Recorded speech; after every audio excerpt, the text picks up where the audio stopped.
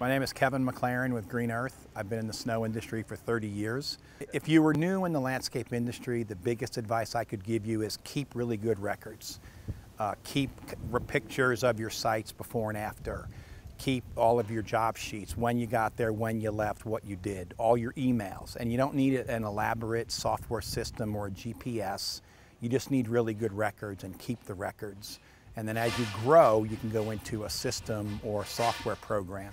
But records will help you tremendously on mitigating any risk you have with being accused of someone being injured with a slip and fall situation.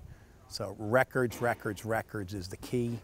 Uh, typically, slip and falls have a, uh, a legal limit of five years. So you're typically sued in four years, 11 months, and 29 days and they're hoping you don't have records because if you don't have records, they win.